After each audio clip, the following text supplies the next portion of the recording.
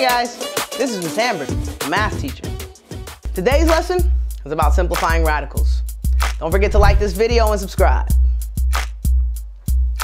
To simplify a radical, you need to find the factors. If you find ones that are perfect squares, the process could go faster. Factors are the numbers that get multiplied together. A whole number times itself makes a perfect square. Answer if the factor is a perfect square, the square root goes outside. And if the factor is not, then the number stays inside. All values on the outside get multiplied, no doubt. Repeat the process till there's no more perfect squares to pull out.